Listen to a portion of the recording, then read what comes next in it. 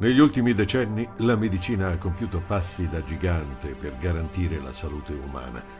Mio padre, morto per infarto nel 1969, oggi si sarebbe salvato grazie alla prevenzione e all'introduzione di stent e bypass. Tuttavia, non bisogna nascondere la testa sotto la sabbia e rendersi conto invece che c'è un lato della medicina a dir poco riprovevole ed è quello purtroppo che in nome del profitto considera la malattia un business. Mi riferisco ad esempio al massiccio utilizzo dei cosiddetti screening, ovvero di quelle strategie di indagini diagnostiche generalizzate impiegate per identificare una malattia.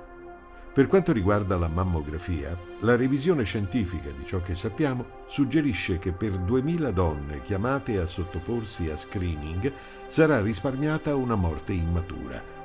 Tuttavia, quel che si dimentica di dire è che 10 donne sane riceveranno una sovradiagnosi di cancro, con 6 asportazioni di un nodulo e 4 mastectomie, mentre 200 donne andranno incontro al rischio di danno psicologico in seguito ad alterazioni riscontrate alla mammografia. Non è un caso che Jonah Heath, presidente del Royal College of General Practitioners, abbia gentilmente declinato l'invito a sottoporsi a uno screening preventivo. Inoltre, un ampio studio ufficiale riferito da Lynn McTaggart conferma che il PAP test non dà alcun risultato, giacché i tassi di mortalità per il cancro alla cervice non sono variati in due decenni, a dispetto di un programma di prevenzione quasi universale. Molte migliaia di donne sono sottoposte a inutili trattamenti in seguito a risultati falsamente positivi. Uno studio del 1988 ha specificato che quasi la metà delle anomalie rilevate dal PAP test si convertiva alla normalità nel giro di due anni. Un recente studio canadese segnala che una semplice infiammazione della cervice potrebbe provocare risultati anomali in un PAP test.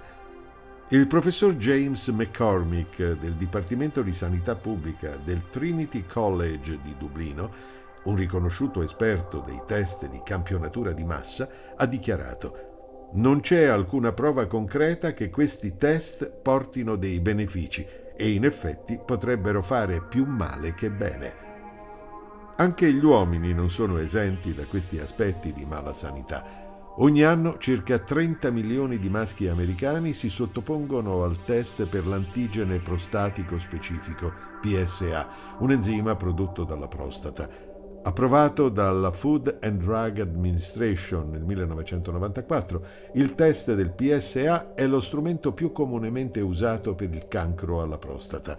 Tuttavia, secondo Richard J. Ablin, scopritore nel 1970 del PSA, professore di immunobiologia e patologia all'Università dell'Arizona, la popolarità di questo esame ha portato a un disastro enormemente costoso alla salute pubblica. Come cerco di spiegare da molti anni, ha dichiarato Eblin, l'aumento del PSA non è un indice di carcinoma prostatico. Nonostante ciò, gli uomini che hanno presentato un valore di PSA superiore a 4 nanogrammi per millilitro sono stati convinti a sottoporsi a dolorose biopsie prostatiche. In conclusione, abbiamo il Collegio americano di medicina preventiva che sostiene che non vi sono prove sufficienti per raccomandare lo screening di routine. Ci chiediamo allora perché venga ancora usato su larga scala.